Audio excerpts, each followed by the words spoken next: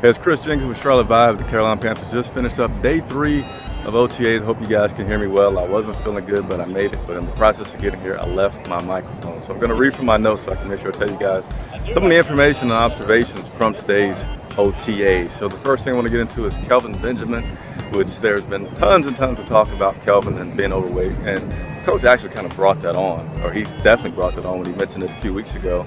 But in talking about Kelvin today, he mentioned that it seems like the criticism towards Kelvin's been a little unfair. But I think it's ironic because he's the one who started it technically about Kelvin and his weight. But he's been looking pretty good. He's, he's seen his cut, and he told the media today that uh, catch was made yesterday that we didn't get to see.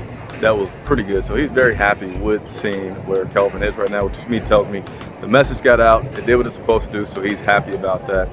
Uh, no shows today. Devin Funchess was uh, hurt his ankle yesterday, so he wasn't in practice today.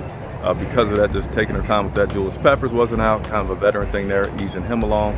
And uh, James Bradberry was a noticeable that wasn't even at the facility today, but for a very good reason, as he has his, I believe, sister, but it's definitely an immediate family member that is graduating.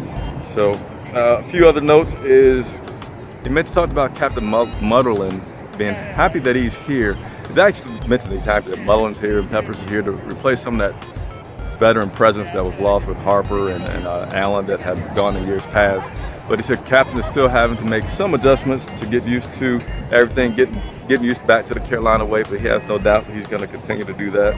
And uh, lastly, the new kicker. So talked about the new kicker who was kicking some field goals today doing OTAs and said the one thing that that guy still has to do is get used to the bigger ball and the NFL and, and find that sweet spot, which he said he hadn't quite got used to yet.